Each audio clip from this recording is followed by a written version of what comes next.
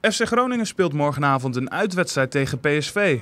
De Eindhovenaren staan tweede achter koploper Ajax en hebben de punten hard nodig voor het behalen van de voorronde van de Champions League. FC Groningen heeft de laatste vier wedstrijden gewonnen en zit op koers voor de play-offs voor het behalen van Europees voetbal. Bij winst zijn we nagenoeg zeker van, uh, van play-offs halen. Dus dan uh, er staat wat op het spel. Uh, maar we weten ook dat we tot, een bot, tot op het bot gemotiveerd PSV tegemoet gaan treden. En dat zal niet makkelijk worden. PSV is gewoon een absolute topclub in Nederland. En zijn niet constant geweest. Dat heeft ze ook punten gekost natuurlijk. Maar uh, vergis je niet in, uh, in, in, in het niveau van PSV, dat ligt gewoon heel erg hoog. Kees Kwakman ziet mogelijkheden tegen PSV. Je weet dat PSV niet de beste verdediging heeft en dat ze in het middenveld en op de aanval dat ze veel kwaliteit hebben.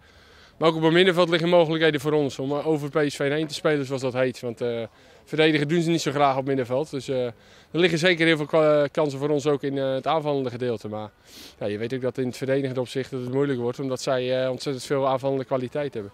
Michael de Leeuw is weer terug naar zijn schorsing. Ik denk dat we morgen goede zaken kunnen doen.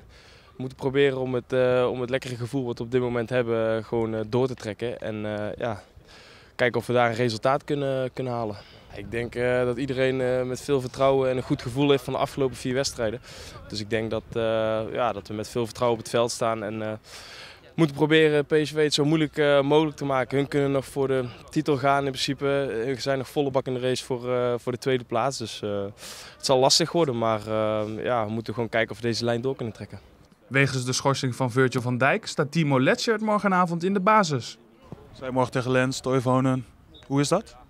Dat zijn goede spelers en internationals. Ja, dat zijn gewoon hele goede voetballers en dat is een mooi, mooi moment voor mij eigenlijk. En ja, daar heb ik veel zin in. En uh, ja, ik ga er met goed voor naartoe en uh, ja, we zullen zien morgen. Ik ga gewoon die wedstrijd gewoon met ontspannen gevoel in. Ik denk dat PSV moet winnen. Uh, wij willen een goed resultaat halen. Eigenlijk ligt de druk bij PSV.